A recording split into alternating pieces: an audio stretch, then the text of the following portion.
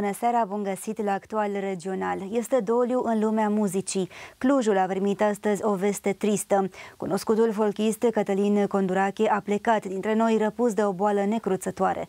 În urma lui a lăsat durere printre cei care l-au cunoscut, însă și multe amintiri muzicale de suflet. A debutat în 1975 pe scena cenaclului Flacăra în Baia Mare. Primele înregistrări le-a făcut în 1977 la Casa Radio. A câștigat mai multe festivaluri între anii 80-90, inclusiv cel mai valoros trofeu din muzica folk românească, Primăvara Baladelor în 1982. A continuat cu Flacăra până în 84, fiind unul dintre cei mai apreciați cântăreți. Anul trecut a lansat o piesă de suflet, dedicată orașului său preferat, Cluj-Napoca. Alături de mine este acum jurnalistul Tiberiu Fărcaș. Bună seara și îți mulțumesc pentru prezența în emisiune. Bună seara, Mădălina, bună seara telespectatorilor TVR Cluj. Pentru început, Tibi, te invit să ascultăm împreună această piesă dedicată municipiului Cluj-Napoca și apoi ne întoarcem în platoul emisiunii să ne amintim împreună de Cătălin Condurache.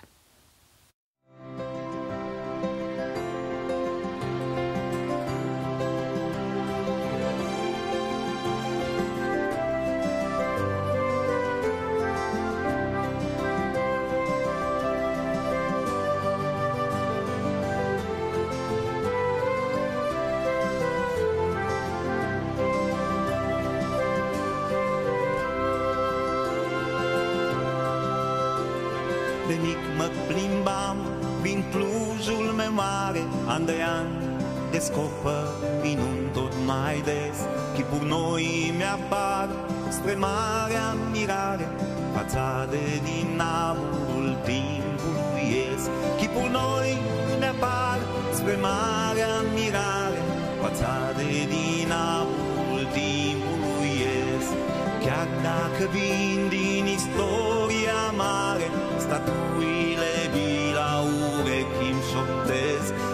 Un oraș cum e Clujul nu mai poate apare. Cu cel mai frumos amur studențesc. Un oraș cum e Clujul nu mai poate apare. Cu cel mai frumos amur studențesc. Dintr-un zâmbet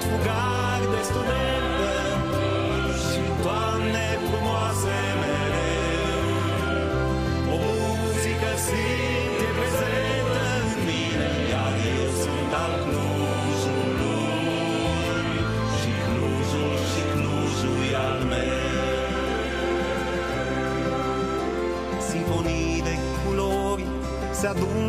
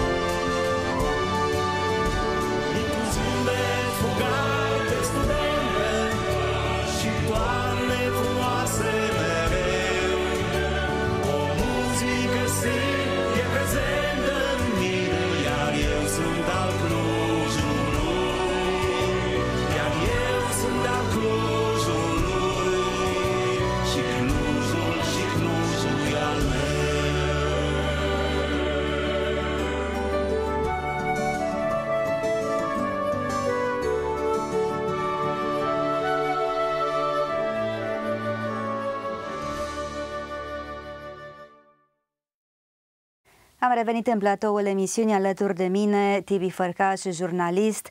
Tibi, e destul de greu să vorbim despre mari artiști la timpul trecut, mai ales că a fost o veste fulgerătoare și avem timp, avem nevoie de timp să procesăm această informație destul de, de dureroasă pentru toată lumea. Mădălina, așa vin aceste vești fulgerătoare și neașteptate. Uh, Nu am fost uh, unul din cei mai apropiați prieteni al lui, al lui Cătălin Condurache, dar am fost uh, un amic al lui și aveam o cafenea împreună preferată, Il Cafe, dacă îmi permite să-i dau numele și... Uh, nu chiar avem voie, întâlneam... dar... Uh, bun, avem, îmi cer scuze, aveam uh, uh, un obicei uh, la ora 11, în fiecare zi aproape, Cătălin își bea cafeaua la cea cafenea. De multe ori uh, veneam și eu, stăteam de vorbă foarte mult de muzică amândoi, el fiind, cum știm toți, un folchist uh, și nu doar un folchist, uh, extrem de apreciat și de experimentat, e un fan al muzicii și cât, cât țin puterile, un promotor al muzicii bune. Pentru telespectator, să spunem, Cătălin a fost un mare fan al lui Bob Dylan, a fost unul dintre cei mai buni interpreți de cover-uri, de melodii ale celebrului premiat Nobel pentru poezie, dar mai ales un mare, mare muzician complet, Bob Dylan. Nu numai, nu numai, a fost și un uh, organizator de concerte. La una din bazele sportive clujene specializate pe tenis, baza Winners, a organizat o serie de concerte cu compact, cu iris, cu holograf uh, și cu câțiva prieteni ai săi, artiști renumiți pe, pe scena folk. Uh, uh, vestea a venit fulgerător, este o, o, o început de săptămână foarte trist la Cluj-Napoca. Luni, duminică pe luni a murit părintele muzicii electronice Rodion Radislav Roșca sau Rodion GA, formația înființată de Rodion. Astăzi, azi noapte a murit, din păcate, regretatul Cătălin Condurache. Folchist de mare forță, în ultimii 10 ani Uh, am fost la cel puțin 5-6 concerte ale lui uh, Cătălin împreună cu uh, alt muzician redutabil al Clujului, producător muzical, solist vocal, chitarist, Sandy Deac de la Desperado, Kappa și Speak Floyd.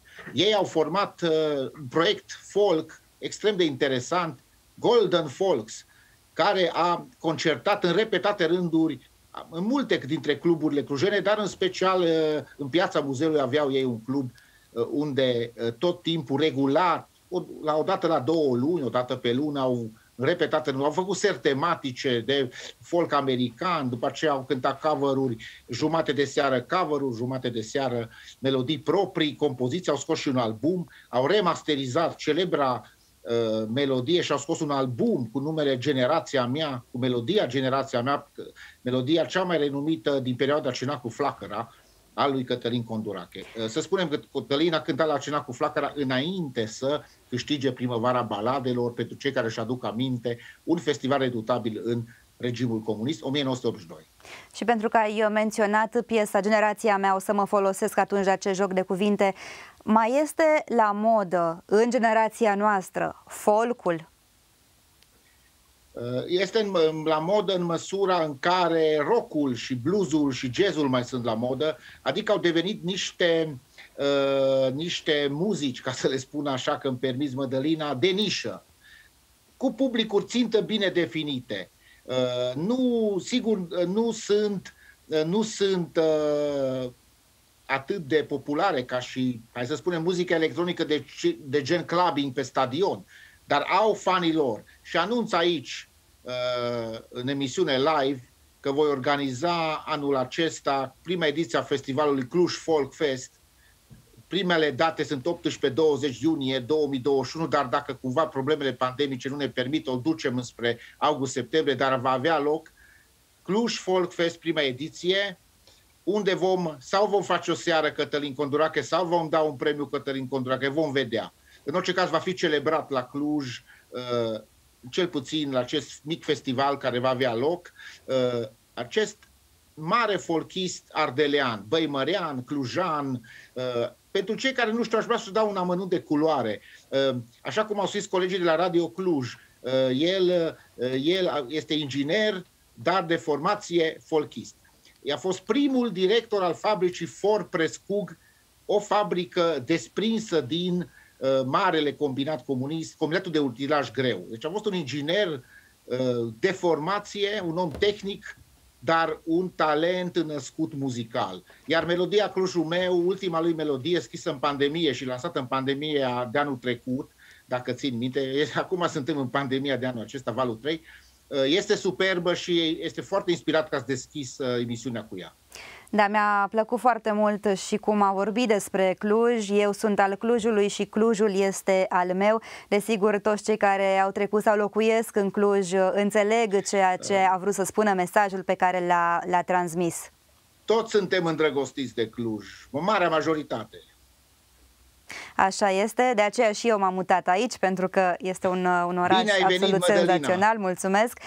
Uh, Tibi, ca jurnalist, și eu am fost pus în această situație să scriu un reportaj, o știre despre o persoană dragă, o persoană la care am ținut foarte mult și care ne-a părăsit. Astăzi și tu ai scris un articol despre Cătălin Condurache. Cum a fost pentru tine să scrii la timpul trecut despre amicul tău care ți începeai diminețile și care avea atâtea planuri?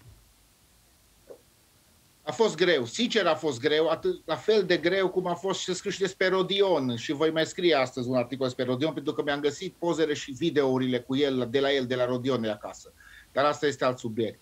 Uh, este foarte greu, este foarte greu să scrii că nu mai este Adi Bărar de la Cargo ucis de, car, de COVID. Este foarte greu să scrii despre Cătălin Condurache, indiferent dacă ai fost prieten sau amic doar. Muzica lui, pentru cei de vârsta mea, generație, generația ce n-a cu flacăra, să o numesc așa, este vie și este prezentă și eu ascult folk, ascult și emisiuni de folk la radiurile clujene uh, și la un radio din București, emisiunea de, de, de luni seara dedicată folcului. Este greu să scrii, dar meseria de jurnalist este una dură și trebuie să treci peste momentul de tristețe, de seșocul veștii și să scrii o relatare cât se poate de obiectivă, apoi după aceea, după ce o publici, poți să te întorci la tine, la sentimentele tale. A fost foarte dificil și despre Rodion, și despre uh, și despre Cătălin, și despre Adi Bărar, pentru că îi place mult muzica rock și a fost la concertele Cargo asta, iarăși a fost o lovitură foarte mare. Uh, este o perioadă tristă cu dispariții, dispariții regretabile din, din uh, muzica românească și cu goluri mari, adică oamenii ăștia nu se pot înlocui așa cu una, cu două. Sunt creatori de cursă lungă cu compoziții proprii, instrumentiști care stăpâneau instrumente. Uh, și el era, uh, cânta la muzicuță, Cătălin Cândurache, cânta la voce foarte bine, chitară, poate știa și alte instrumente, dar asta nu știu eu nu mai vorbesc la Adi sau Roșca, care era și solist, și claviaturist, și chitarist, și reparator de instrumente muzicale. Deci oameni complexi, nu, care chiar dacă nu sunt atât de notori, nu sunt atât de cunoscuți în opinia publică, pentru cei care am ascultat și am, am fost educați într-o, în, pentru muzica bună, acest gen muzical, folk în speța lui, în speță a Cătălin Condurache, uh, nu pot fi trecuți cu vederea așa cum și rămân, rămân în istoria muzicii uh, românești, fără discuție. Și avem noroc cu canalele YouTube, uh, discurile se găsesc mai greu, dar avem canale de YouTube, internetul care stochează toată, toată moștenirea lor muzicală. Așa este, Tibi, și chiar astăzi în documentarea pentru această emisiune am dat peste un videoclip în care apare alături de Sandy Deac. Te invit să îl urmărim împreună și apoi ne întoarcem în platoul emisiunii.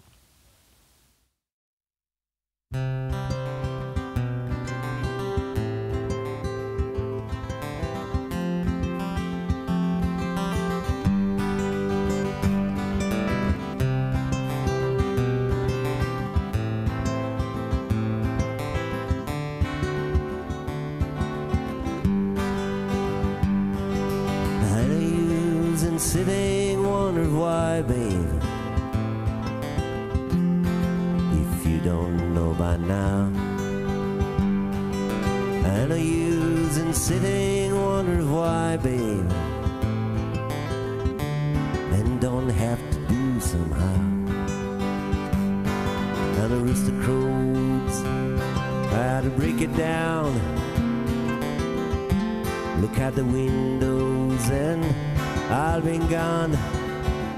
You are the reason that I'm traveling on. Twice, it's alright. And no use in turning out your light, babe. The light I never knowed. And no use in turning on your light, babe I'm on the dark side of the room. I wish there was something you would say. Try and make me change my mind and stay. We never did too much talking anyway.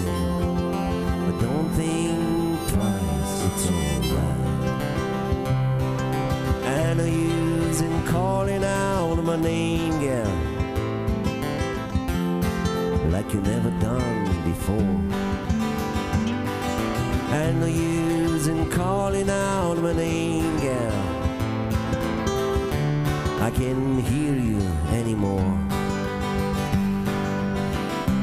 Talking, wandering, walking down the road. I once loved a woman, with child I'm told. I give her my heart, but she wanted my soul. But don't think twice, it's alright.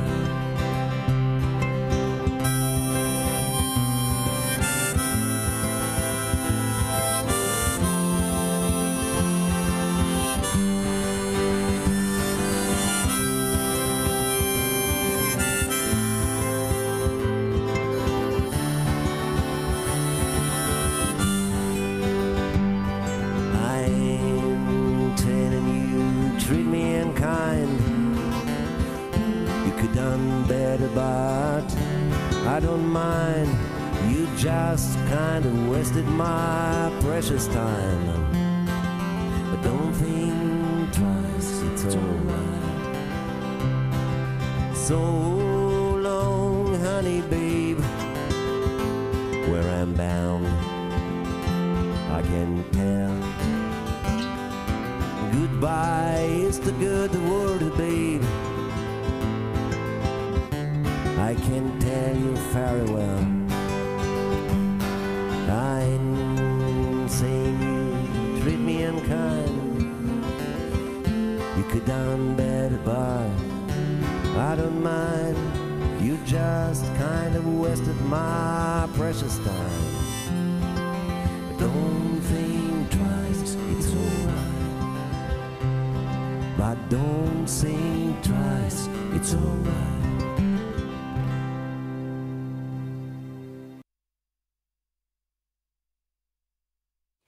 Revenit în platoul uh, emisiunii. Tibi, uh, te felicit pentru această inițiativă de a organiza un uh, festival folk.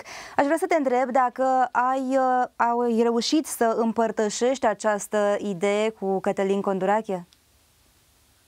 Știa, știa de, de, de el, sigur, pentru că ideea e mai veche, nu are legătură cu decesul lui, nu a venit astăzi, ideea e mai veche, a venit, pe, a venit ideea pentru că noi nu avem un festival de folk în Cluj. Deci nu avem un festival de folk în Cluj, ultimul a fost în 2013 și eu cred că există public de folk și cred că și acest gen muzical trebuie să revină un pic în actualitate și vreau să mă ham la această muncă de a, de a readuce un pic folk în actualitate, pentru că este un public, nu este public de stadioane, dar este un public cult, un public citit, un public, public care ne vede sensibilitatea folcului, știm că folcul e multă poezie, chitară rece uh, și vreau să, vreau să fac aceasta. Știa Cătălin, uh, uh, era invitat și am martor aici, uh, puteți oricând să-l contactați pe folchistul Emeric Imre și el este la curent, uh, este pe, împreună cu Emeric Imre am făcut listele de folchiști care, pe care dorim să-i uh, invităm. Vreau să mai precizez un lucru. În această seară și mâine, ieri a început, de fapt, trei zile la București, cel mai mare festival de folk românesc, Folk Om Bun, uh, organizat din 1990 de Victor Socaciu. Cătălin ar fi urmat că, să cânte și cred că seara asta, de la ora 18 până la ora 24, uh, căutați pe internet link-ul și acolo se poate... Este transmis în direct, live, pe online, nu este un, un festival live, normal din cauza pan, uh, pandemiei, dar uh, sigur va fi omagiat astăzi de breasla lui, de muzicienii din folk, regretatul Cătălin Condurache. Avem nevoie în această perioadă mai mult de cultură, având în vedere toate restricțiile care au venit peste noi de acum un an? Evident că se simte o, se simte do, uh, o dorință de cultură. Oricui lipsește, lipsește uh, un spectacol de teatru, un spectacol de operă, un concert rock, un concert de muzică populară, de folk, de blues, de jazz. Nu mai vorbesc de marile concerte de la Polivalentă sau de la uh, Cluj Arena. Este o, o nevoie acută și o resimțim. Gândiți-vă că artiștii n-au mai concertat de un an de zile, sălile sunt goale de un an de zile, uh, opera, teatru, companiile de teatru independente din Cluj s-au mutat în online.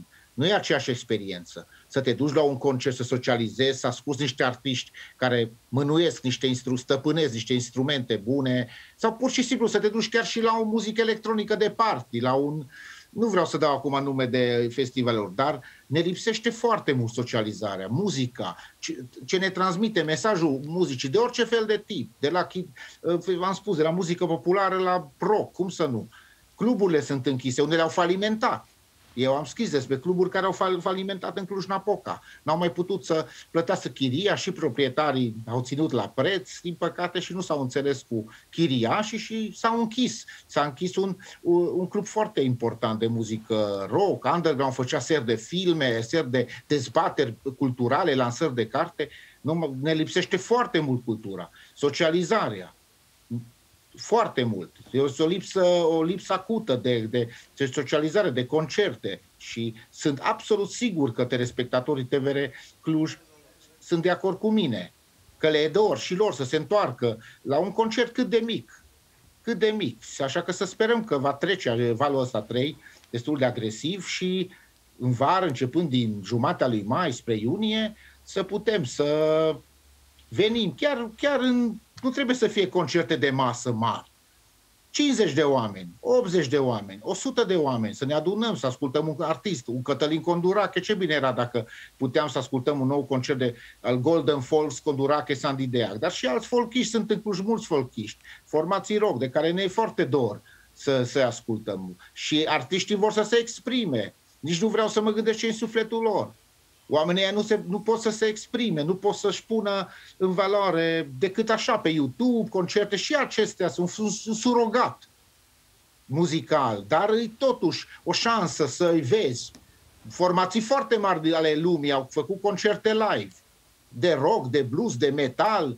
Astăzi avem, ieri, astăzi și mâine, concerte folk de mare calibru, uh, live de la București, cumva îi putem vedea, dar emoția unei săli, atmosfera unei săli, o pauza în care te duci și iei un par de bere, un par de vin, un par de suc, stai de vorbă, autografele de la final, discuțiile cu artiștii.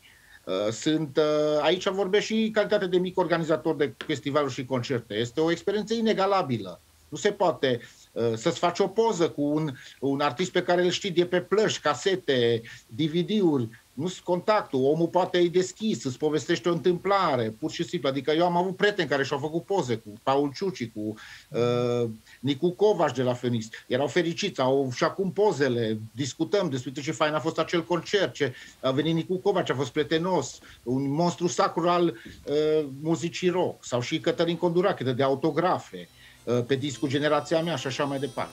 Cât de dor era lui Cătălin uh, de un concert și când a fost ultima oară când ai avut ocazia să stai de vorbă cu el?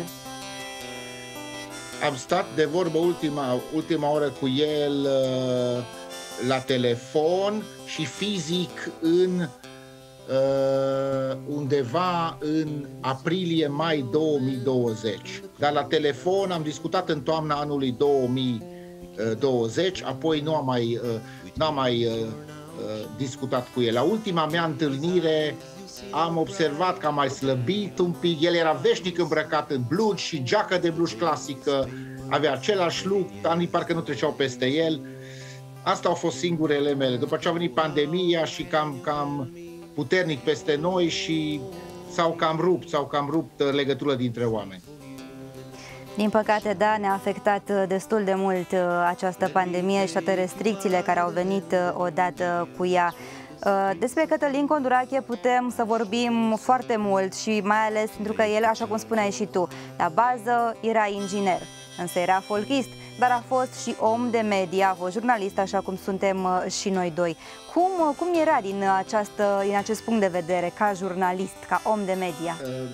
Nu am lucrat cu el, dar știu că a condus unul din cele mai prestigioase radiouri după 1989, CD Radio, din păcate nu mai există, apoi a condus și a fost director mulți ani de zile la un post de televiziune local numit NCN TV. Uh, din, uh, am participat la o emisiune de sport împreună cu el, moderată de el, uh, produsă de el, cu sociologi, ziariști, oameni de sport la NCN TV pe vremuri.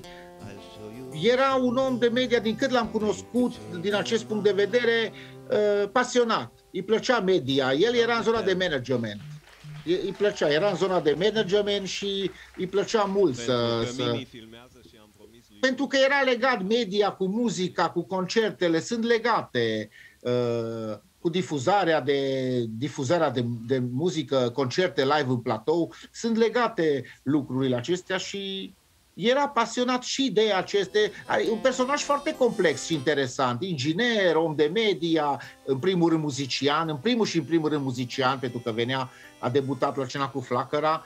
Uh, iată un om foarte complex care, care ne-a părăsit, din păcate, dar moștenirea lui muzicală rămâne, cum am spus, putem oricând din fericire să ascultăm muzica lui Cătălin Condurache și asta contează cel mai mult. Acele instituții media s-au transformat sau nu mai există, dar muzica lui până în 2020 inclusiv a compus rămâne. Iată pe fundal ce voce plăcută, ce interpretare a cover-urilor de folk american, cu totul specială. Știa și o limbă engleză excelentă, vorbea engleza unul la unul, cum se spune în, în lumea, în lumea muzicanților, muzi- artiștilor, unul la unul să faci o cover, să imiți o piesă, ca să înseamnă cover, să interpretezi în stil propriu o piesă consacrată, uh, e mare lucru și nu e la mâna oricui. Acum, într-o eră în care muzica a trecut pe dispozitive electronice, pe stick-uri, pe... și știa chitară bine, deci era, era un muzician complet, fără discuție, cu partituri, cu uh, și avea și un program, avea studio de registrări, mergea cu Sandy Dea, că aveau repetiții serioase, deci erau niște muzicieni profesioniști, profesioniști și talentați. Ai el spus, era. Ai spus uh, mai devreme despre moștenirea lui muzicală. Ce moștenire ne lasă și ce ar trebui să apreciem mai mult la ea? Ne lasă o pasiune enormă pentru folk, pentru muzică bună, pentru muzică Uh, pe poezie. Folcul folosește foarte mult marile poezii ale autorilor, în speță autorului preferat, Bob Dylan, că și l-a și fost denumit Bob Dylan de România. Uh, asta ne lasă. Ne lasă pasiunea pentru muzica folk, uh, bună, de calitate, cântată live, cu instrumente pe care trebuie să le repeți, să repeți ca să le stăpânești și ne lasă moștenirea unui compozitor bun, un om care a compus melodii și hituri uh, care oricând pot fi ascultate și vor fi ascultate și peste 10, 20 și 30 de ani. Cu siguranță pentru că muzica bună nu moare niciodată, ea rămâne veșnic alături de noi. Tibi, ție mulțumesc foarte mult pentru că ai acceptat invitația noastră la emisiune să ne amintim împreună de Cătălin Condurache. Îți dorim mult succes cu festivalul de folk pe care de-abia așteptăm să, să-l vedem, să venim și să, îl, să fim martorii primei ediții și să ne auzim numai de bine. Vă mulțumesc foarte mult și condoleanță familiei din partea mea. Rămas bun, Cătălin Condurache. Doamnelor, domnilor, noi ne oprim aici cu emisiunea Drumlin spre stele Cătălin. In his eyes you see no pride, then he lose me by his side. Yesterday's